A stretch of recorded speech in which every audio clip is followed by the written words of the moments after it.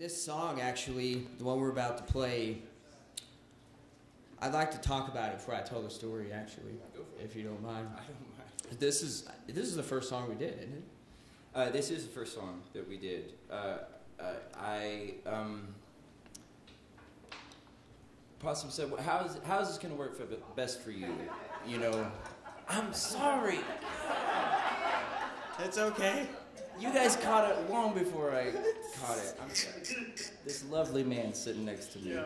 He says, uh, "You know, how do you? How, what's best for you? How do you want it?" I said, "Look, I got three kids, a job, and a wife, and I'm running all that. You know, I got to do this and I got to do that." I said, "You know, you just we'll get together when we get together. You tell me a story, and then I'll go and come up with whatever I can come up with, hand it to you, and you can take it and run. Do with it what you want, and then we'll move on to the next one because I only have a limited amount of time, and plus I was leaving the country in like two months from us starting this project, you know, and uh, and so we had a very limited amount of time, and uh, so the first. Uh, the first story he tells me, we meet there somewhere at the square. I don't know. We're walking around, and he tells me the story, and I take notes on the story. And at first, when he told me the story, I thought, how in the world am I going to make this a song? This is the craziest thing I'd ever heard, you know? And uh, that was my first insight because I hadn't talked to him in three years. I didn't know what he was up to. I mean, I knew he was on his bike riding around, but the whole going to Afghanistan and all that stuff, I had absolutely, really no idea. So to hear, th- you know, this story that came directly from somebody in Afghanistan, he says, I'm going to make this a song. And I thought, oh my gosh, how, I don't, you know, uh, I'm going to write a kind of a folky song in, in place of somebody else. But, you know, I, after the conversation was over and we went on, we went on it, it dawned on me immediately. Uh, you know, well, it just be it just needs to be sung as though that person was singing the song, as though it was that person in Afghanistan on some farm somewhere. You know, this is his song uh, that he's singing, and and that's kind of that set the stage, I think, for the for the rest of the songs that we did on this album. I, don't you? I think that it. Yeah, that this was really intense when he came back with this, and the first time he's, y'all have heard Adam sing before, right? He's probably one of the most beautiful singers I've heard in my life. Yeah. And, and he comes back, he's like, "Here it is," Ooh! and I'm like, oh, God, "I can't sing that song. Are you kidding?" There's no way. I said, sure you can, sure you can. You just got, you know, open up your throat. It's fine. Yeah, he did. He actually coached me. He changed how I perform as a musician. It changed me as a singer. And one of the key things he told me was like, remember, you remember how you would sing at the top of your lungs at church? Because we both grew up in church. We grew up in the Baptist church in Danville.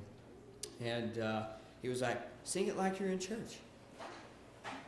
I was like, oh, okay. I could do that. I'd, I'd pack that, that voice of that person away long ago, but I really unpacked it to, to dig into this album, and it really changed me. So I went through the process of learning this song, singing it over and over, and uh, I couldn't sing it through without crying. Uh, and finally, one day I sat down and I was like, Look, I'm going to sing this song over and over until I can do it without crying. Make it all the way through. It took me five hours. But what I realized the days after this and going through this with the rest of this music was that that was a profound healing technology. There was a serious catharsis that went into doing that. And once I had sang that song out and locked it down, a part of me felt a little, a little different, a little lighter. My load had gotten a little bit lighter. So that's one of the amazing gifts that Adam, that Adam gave me uh, through working on this project. It, it really was. I could. I knew. I mean, I know I'll say it a thousand more times, but it, it really was a life changing experience for me just to go through. I mean, he had a healing process that he went through, and I had, a, you know, I had a very similar healing process that I went through that just, it just changed me as a man. It was very fascinating to go through and lovely to go through. It's something I would have never been able to go through had I not known this man. You Hmm. know, so I hope y'all don't mind us just loving each other. it's gonna get a little goofy. yeah, right. yeah, it's just gonna get better and better. so I'll tell you the story behind this song. And this is what I told Adam in a nutshell. It was about midway through the delegation in, in Afghanistan. And uh, a little side note: when I went back, uh, my mom's now uh, ex-husband. Sorry, mom. he he got deployed to Afghanistan the same month I went back to do peace work. He's in the Navy. He'd already been in Iraq. He'd been the public relations uh, liaison at Guantanamo Bay, if you could imagine doing that job. Basically, they tell you the truth, and then you have to tell the, the, the public something else. So uh, basically, we went over there at the same time. So that was that was very interesting to go through because my mom started having to deal with it, uh, PTSD and all these things when he came. Actually, while I was over there, uh, and that that helped in us. between deployments and Yeah. yeah. He's also a federal law enforcement officer, so he get he's gotten it from a lot of different angles. So uh, this was about midway through, and uh, the boys were like, "Jacob, we gotta take you somewhere today." And uh, I didn't know if I was excited about that or not because I'd been pretty worn down. I'd just been there for a couple of weeks, but it was a lot to go through, and there was no other vets there with me. Uh, one was there for a couple of days, but but for the most part, I was on my own. And uh, they said, "Well, we're going to go to a landmine museum today." And I thought, "Oh, great!" I was an explosives expert in the army, and uh, I'd spent my fair share of time around explosives in Afghanistan, and I wasn't too psyched about standing in a room full of them but uh, I did it. So we get to this, we're going to this building, and, and uh, we arrive in this building. It's not much bigger than this room, actually, quite a bit smaller. And uh, outside the building, they have what the Afghan youth peace volunteers, that's what they call themselves, called the, the tombstones of empires. They had uh, Russian tanks out there and, and Russian MiGs, which are fighter jets from the Soviet occupation of Afghanistan through the 80s. Their whole country's littered in, in war. And uh, we walked inside, and the first person in the door is this really hard faced Afghan man, very serious. And he looks at us, he's the only person in there. He welcomes us to his museum.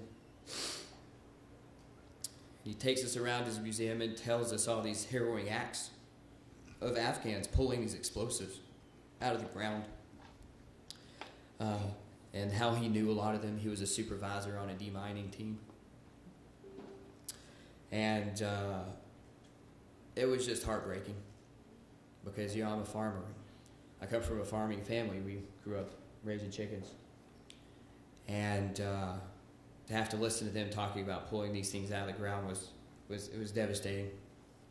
But it was also very inspiring. It's a very brave thing to do. They don't have fancy equipment, they do it with sticks. It takes a lot of grit.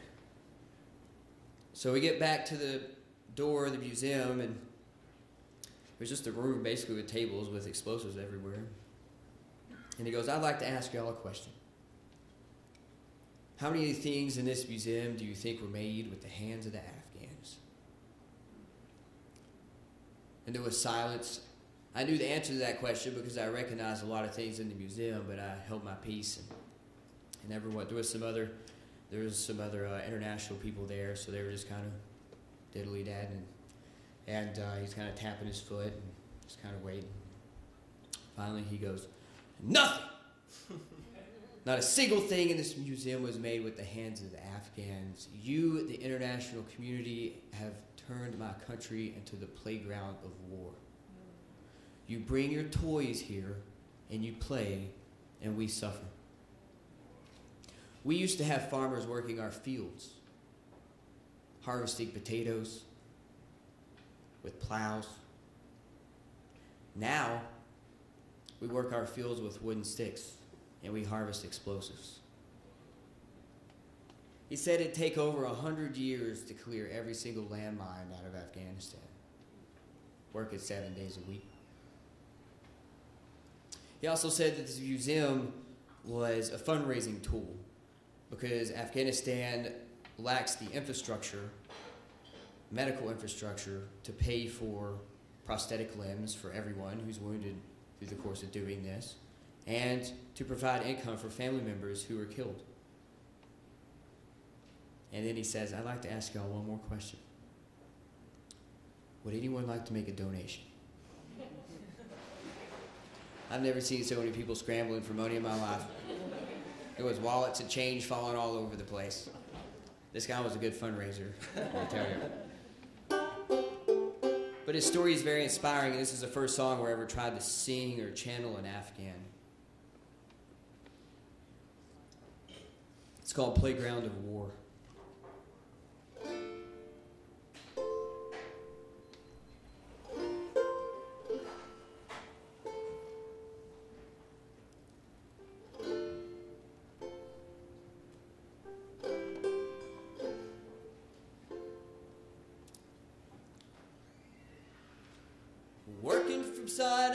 Sundown, you know. Out in the fields, my father did so. With sweat on their brow, they plowed through the land. Now with tears in my eyes, I make my stand. One hundred years of backbreaking work. That's what it takes to heal the hurt. Well, they call me a fool, and a fool I must be. But that's what it takes for all to be free.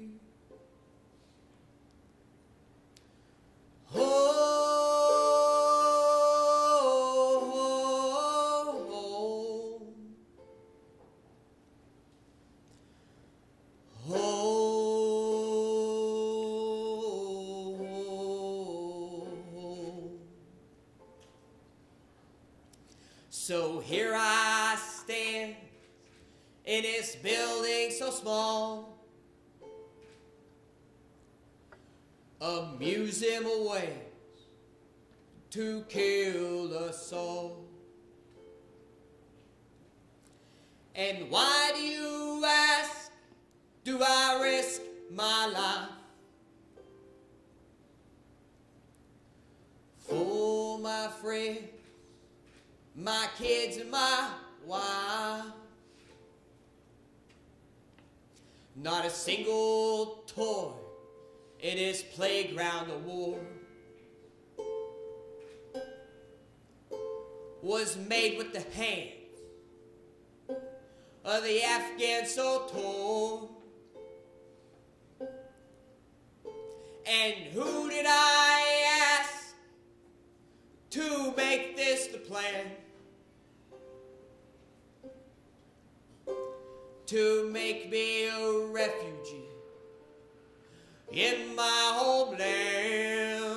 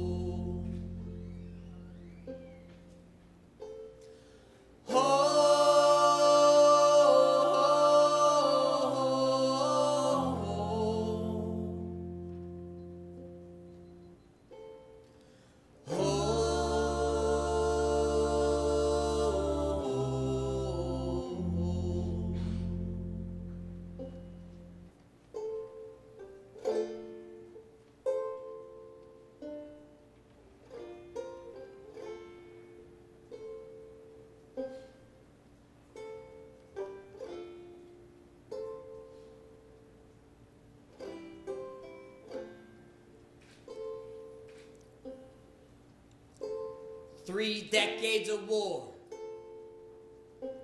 we Afghans have had. From the USSR to those American lands. and a graveyard of empires we find ourselves in. All chasing the ghost of Bin Laden. Now, with gentle hands and nerves of steel. I dig through the ground so we can all hear.